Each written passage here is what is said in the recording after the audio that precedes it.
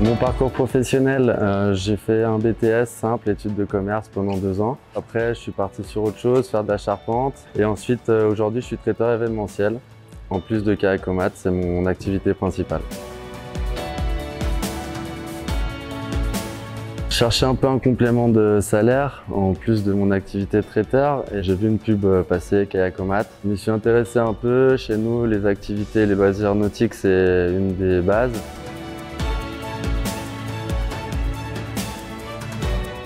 J'habite à côté, donc je passe régulièrement euh, devant euh, sans vraiment faire de check. Et euh, en ce qui concerne vraiment la remise en place, etc., je dirais une fois ou deux par semaine où je viens vérifier s'il manque rien, si tout est clean et que tout a été respecté.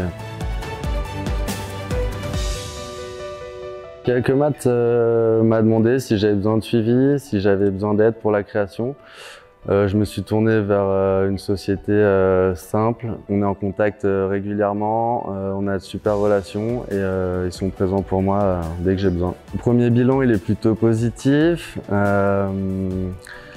on va voir sur l'année, mais le but étant du coup de développer d'autres kayakomates tout autour du lac. Aujourd'hui, on a des bons retours clients, que ce soit sur l'accessibilité, la facilité, la simplicité en fait euh, du fonctionnement.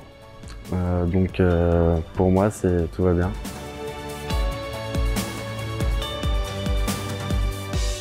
Pour moi, le mot-clé, ça serait spot, le lieu. C'est ce qui est le plus important. Si on a un bon lieu, alors ça va tourner et il n'y aura aucun souci.